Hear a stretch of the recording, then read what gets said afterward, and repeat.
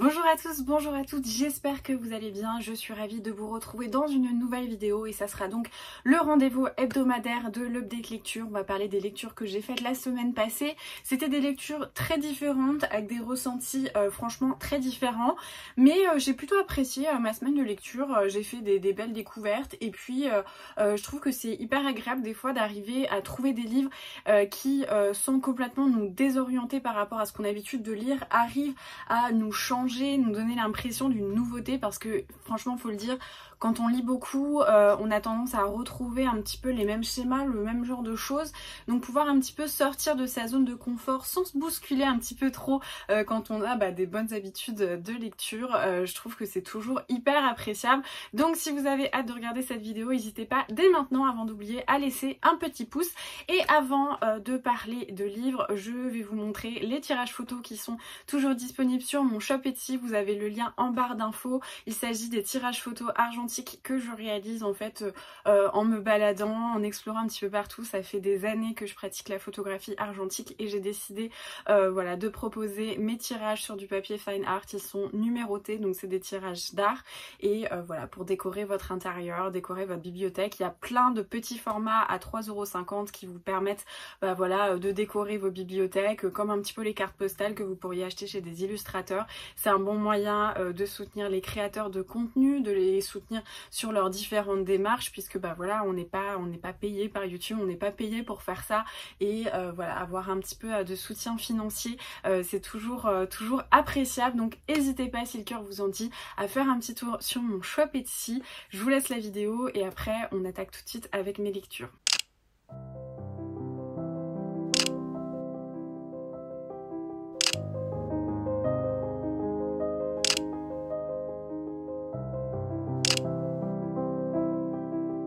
J'ai commencé la semaine avec Femme au foyer de Jill Alexander Esbaum aux éditions Albin Michel. C'était mon amie Marion du compte Par un soir d'automne qui m'en avait parlé. En fait, c'était à l'époque, je crois, où j'avais relu Madame Bovary et euh, très justement, elle m'avait dit ah bah tiens, euh, ça tombe bien, j'ai entendu quelqu'un qui parlait de ce livre et qui disait que c'était un peu un Madame Bovary contemporain. Euh, c'était un peu voilà une espèce d'aspiration comme ça. Donc je l'avais commandé, je l'avais trouvé en occasion vraiment pour une bouchée de pain sur Vinted. Alors normalement, il a une jaquette avec une espèce de chemise. Enfin, je trouve que la couverture est horrible. Moi, je préfère avoir le livre comme ça, euh, tout blanc. Et donc, dans ce livre, on va suivre Anna, qui est une mère de famille. Elle a trois enfants. Et puis, on comprend euh, qu'elle voit donc euh, une psychanalyste, qu'elle a voilà un passé un petit peu particulier. C'est une américaine qui a épousé un Suisse. Ils habitent du coup en Suisse et on sent qu'elle est un peu en dehors de sa vie. On a l'impression qu'elle subit un petit peu tout, qu'elle aime pas vraiment, elle n'arrive pas à s'intégrer euh, en Suisse. Et petit à petit on va comprendre que cette femme en fait elle mène un petit peu une double vie, elle compense pas mal de choses qui ne vont pas dans sa vie avec euh, bah, des, adultères, avec euh, des relations qui sont juste purement sexuelles. Et on va voir un petit peu avec beaucoup de flashbacks, beaucoup d'allées et venues comme ça en fonction du point de vue ou de la temporalité. C'est pas forcément ultra évident à chaque fois de voir parce que c'est juste des sauts de paragraphes mais on va voir bah, comment en fait elle en est arrivée là, le pourquoi du comment, qu'est-ce qu'elle nous cache, parce qu'on comprend qu'il s'est passé quelque chose à un moment donné, euh, du fait voilà de, quelques petites questions que lui pose euh, sa psychanalyste, on sent elle dit mais qu'est-ce que vous nous cachez Anna, etc. Donc nous on a envie de savoir et on va suivre un petit peu la psychologie euh, de cette femme, l'évolution dans sa famille, etc. Je dois admettre que j'ai bien aimé, mais je peux pas dire non plus que ça a été un coup de cœur et je pense que le livre méritait 100 pages de moins dans le sens où il fait 400 pages, on a euh, voilà le, début euh, de l'histoire qui se met en place, on apprend à connaître Anna, et quand je dis à connaître Anna, c'est essayer d'appréhender son mode de fonctionnement, parce que même elle, on sent qu'elle est totalement paumée dans sa tête. et puis ensuite, il y a les 100 dernières pages du dénouement qui sont assez intéressante mais au milieu on a 200 pages qui pour moi étaient un petit peu longues assez redondantes. Et euh, j'aurais peut-être aimé voilà que ça soit un livre de 200 290 300 pages maximum. Je pense que ça aurait amplement suffi parce que là il y avait le temps en fait que l'ennui se glisse entre les pages et j'ai trouvé ça dommage. C'est un livre qui est un petit peu dur un peu cru euh, cru euh, que ce soit dans la description des scènes de sexe dans sa recherche un petit peu de, de brutalité. On a l'impression qu'elle attend ça pour être réveillée. Et cru aussi parce que c'est des sentiments qui sont difficiles à appréhender. on va avoir ensuite bah, voilà, la, difficulté d'Anna qui a l'impression de, perdre un petit peu pied. J'ai l'impression qu'on est vraiment dans un schéma où les choses se mettent en place et on voit comment petit à petit tout va se déconstruire et, et nous en tant que lecteur on se dit bon c'est à quel moment que tout va capoter? Et du coup voilà c'est assez intéressant, ça tient en haleine. C'est un peu dur parce que euh, je trouve qu'il y a des sentiments qui sont difficiles et je pense que, alors moi personnellement euh, je ne suis pas une femme au foyer, mais euh, je pense que ça peut aussi amener des questionnements par rapport à l'ennui du quotidien, par rapport à ce genre de choses. Euh, donc voilà, après euh, c'est assez intéressant. Ça dresse pas non plus un portrait euh, péjoratif de la femme au foyer. Moi c'est vrai que j'ai eu un petit peu peur quand j'ai vu le titre qu'on espèce qu'on essaye de décrire un peu à la Desperate Housewives, ce genre de truc, et que ce soit très cliché. Là c'est pas du tout c'est pas du tout le, le, point en fait.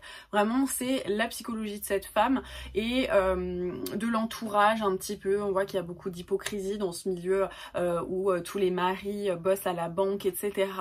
voilà, c'était intéressant, mais je, je sais pas ce qui m'a manqué. Peut-être ce qui m'a manqué, ce serait euh, un attachement à Anna. Parce que mine de rien, voilà, c'est pas simple ce qui lui arrive. On sent qu'elle est dans un tourment personnel dans sa vie à ce moment-là. Euh, on sent que c'est difficile aussi pour elle parce que même si elle fait n'importe quoi, clairement, on sent bien qu'elle fait n'importe quoi parce que euh, bah, y a un truc qui débloque. Enfin, ça va pas à ce moment-là, à l'instant T de sa vie. Mais d'un autre côté, elle est hyper insipide en fait. On dirait vraiment qu'elle subit les choses et, et je pense que c'est le cas. Mais du coup moi j'avais vraiment j'avais j'arrivais pas à m'attacher à elle j'arrivais pas euh, du coup à vraiment euh, avoir, euh, comment dire, euh, une espèce de compassion malgré tout, parce que même si des fois il y a des personnages qui font des choses euh, qui sont socialement non admises, qui sont, voilà, un peu, un petit peu complexes, un peu moches, ou bon, on est là genre, hmm, on fait un petit peu la grimace, on peut avoir quand même une sorte de compassion, d'affection, parce qu'on comprend que le personnage va pas bien, qui part un peu en live, et, on a envie, en fait, de remettre sur le droit chemin, enfin, en tout cas, moi, ça peut m'arriver, genre de choses. Là, c'était même pas trop le cas, parce que... En fait, elle était un peu genre... Euh, ok, voilà, il se passe ci, il se passe ça, mais, euh, mais du coup, je pense que c'est vraiment ça qui m'a manqué parce que si j'avais eu un attachement pour Anna, je pense que le roman aurait été beaucoup plus fort parce que j'aurais peut-être senti sa détresse, euh, son, espèce de sentiment de, perdre pied et tout ça.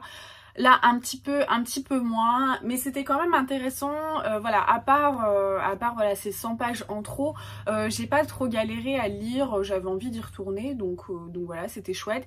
Il y a des moments qui sont un peu longuets puisqu'on est en Suisse, Suisse allemande, et du coup, il y a plein de descriptions des fois de villes, d'arrêt train, etc. On a des paragraphes entiers en italique de trucs en allemand.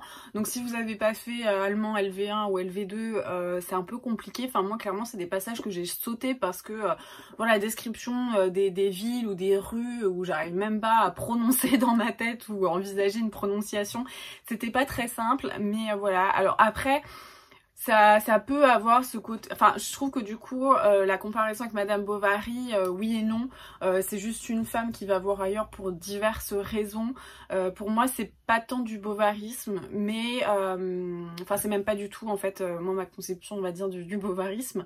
mais voilà, c'est une femme qui, qui recherche autre chose, on sait pas trop quoi, on sait pas pourquoi. Mais voilà, donc après, euh, c'est pas quelque chose qui va plaire à tout le monde. Je pense que Anna, on peut vite avoir envie de lui coller des tartes. Et c'est pour moi le, défaut de ce livre, c'est de ne pas avoir réussi à tisser un lien entre le lecteur et le personnage principal. Mais euh, voilà, je l'ai lu et puis euh, bah voilà, après il faut toujours se faire son avis. Dans un registre totalement différent, j'ai lu L'attitude zéro de Mike Horn. C'est une amie qui me l'a prêté. On parle beaucoup d'aventure, on a très envie de faire des randos en ce moment, euh, enfin voilà, envie d'évasion et ce genre de choses. Et euh, elle me dit, tu sais, moi je suis pas une grande lectrice, mais euh, je l'ai beaucoup aimé celui-ci. Je me suis dit pourquoi pas, franchement. en fait, il a fait le tour du monde sur en passant par l'équateur du coup. donc il est voilà sur la ligne de l'équateur. Donc il va tout traverser, océan, etc. Et son défi, alors je crois qu'il s'est fixé 17 mois pour le faire. Et son défi, c'est de ne, partir avec aucune, aucune motorisation. Donc il il a un voilier sur l'océan Pacifique Atlantique, ce qui est quand même assez incroyable. sinon, il est soit à la nage, à pied, en VTT, dans des pirogues. Il va traverser toute la jungle verte.